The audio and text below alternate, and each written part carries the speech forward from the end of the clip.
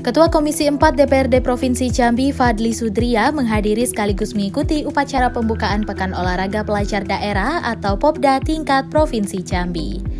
Kegiatan ini dimulai dari tanggal 23 hingga 27 Mei 2022. Dibuka secara resmi oleh Gubernur Jambi Al-Haris yang dipusatkan di Gor Kota Baru Jambi dan diikuti oleh 11 kontingen kabupaten kota dengan jumlah atlet 739 orang dan 8 cabang olahraga yang dipertandingkan. Sebagai mitra kerja pemerintah dalam hal ini, Dispora, Komisi 4 DPRD Provinsi Jambi di bawah pimpinan Fadli Sudria sangat mendukung kegiatan yang dilakukan ini agar nantinya melalui kegiatan ini Provinsi Jambi dapat menemukan bibit dan bakat terbaik untuk olahraga ke depannya. Fadli yang juga selaku Ketua Fraksi Partai Amanat Nasional DPRD Provinsi Jambi itu juga menyampaikan agar di dalam kegiatan ini nantinya tetap menjaga sportivitas. Juga yang terpenting generasi muda Jambi dapat terhindar dari pengaruh narkoba.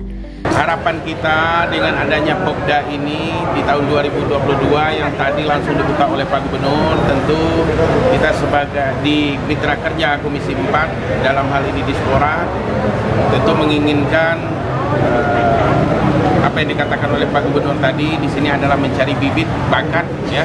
Mudah-mudahan ke depan Provinsi Jambi mempunyai bibit-bibit unggul yang bagus dalam hal keolahragaan ini. Terus kemudian di seluruh uh, apa namanya pelajar ini yang bertanding tentu bertanding dengan sportivitas ini adalah menunjukkan tingkat kedisiplinan waktu, disiplin diri dan semuanya di sini juga di di apa namanya diadakan kompetisi yang baik.